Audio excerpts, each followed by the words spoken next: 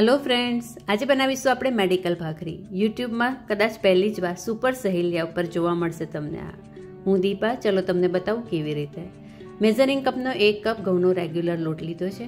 તમે ઈચ્છો તો જે ભાખરીનો જાડો લોટ આવે છે, જે થોડો જાડો હોય, એવો પણ તમે લઈ શકો છો. મેં અહીંયા રેગ્યુલર જે લોટ હોય એ જ લીધો છે. લોટ બને ત્યાં સુધી ચાળવો નહીં અને ડાયરેક્ટ લઈ લેવો.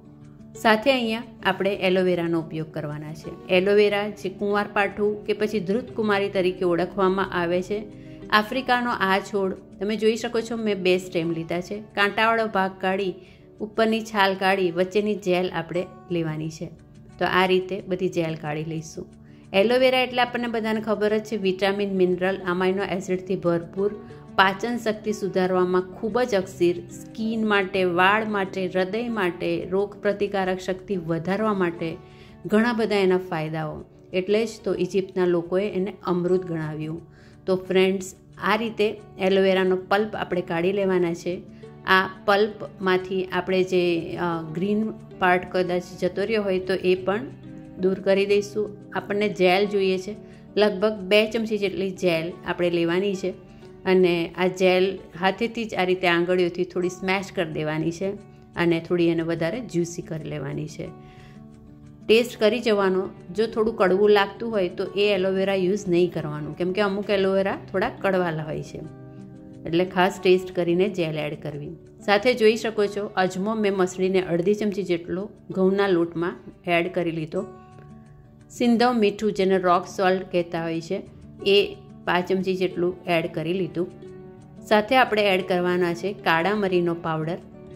તો આ બધા જ મસાલા આપણને પાચન શક્તિમાં ખૂબ જ ઉપયોગી એવા આપણે કરી રહ્યા છે. સાથે સાથે અહીંયા આપણે એડ કરી રહ્યા છે હિંગ. તો હિંગ પણ પેટમાં ચૂક આવતી હોય કે પછી વાયુ દૂર કરે, ખૂબ જ અક્ષીર રામદેવની સ્ટ્રોંગ હિંગ મેં ચૂટકી પર નાખી દીધી છે અને એક ચમચી જેટલું ઘી મોણ માટે એડ કરવાનું છે. આ બધું જ એડ કરીને એલોવેરાની જેલ એડ કરી લઈશું. પહેલી વાર તમે જ્યારે એલોવેરાની આ ભાખરી બનાવતા હોય ત્યારે જેલ બે ચમચી જેટલી, એટલે કે થોડી ઓછી નાખજો.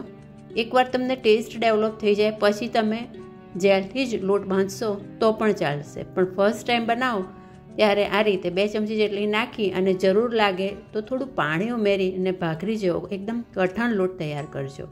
અહીંયા મેં બે ચમચી જેટલી જેલ અને પા કપ જેટલું પાણી એડ કર્યું અને લોટ તૈયાર થઈ ગયો. એકવાર તમને એકવાર ભાખરી ખાશો, પછી તમને ટેસ્ટ એનો ડેવલપ થઈ જાય.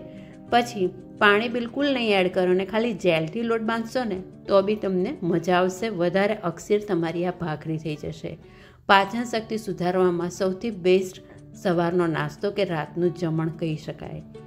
ચલો, હવે આ રીતે લોટને સરખી રીતે બાંધી લીધો છે. કઠણ ભાખરીનો લોટ તૈયાર છે, જેને આપણે સરખી રીતે મસળી લઈએ.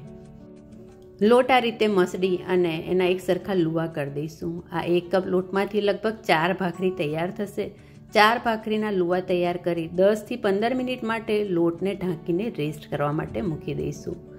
તો જેને વર્ષો જૂનો કબજિયાત છે એના માટે આ ભાખરી ખૂબ જ અક્ષીર છે. તમે રાત્રે દૂધ કે પછી દહીં સાથે પણ આ ભાખરી ખાશો તો ખૂબ જ મજા આવશે. મસાલા એકદમ જોરદાર, મરી, અજમો જોવાનું જ નહીં, એકદમ ટેસ્ટી જ લાગે અને એલોવેરા.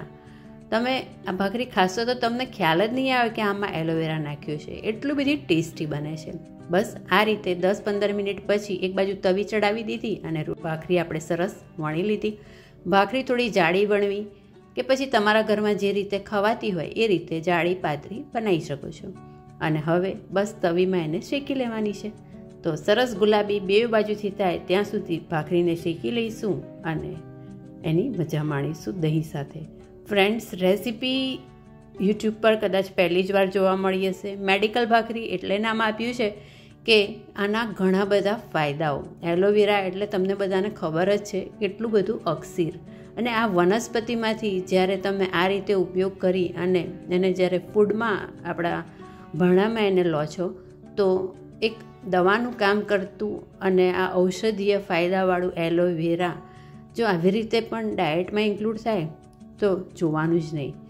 તો જૂનો કબજિયાત રહેતો હોય એને તો રાત્રે ભોજનમાં આ જ ભાખરી ખાવી જોઈએ.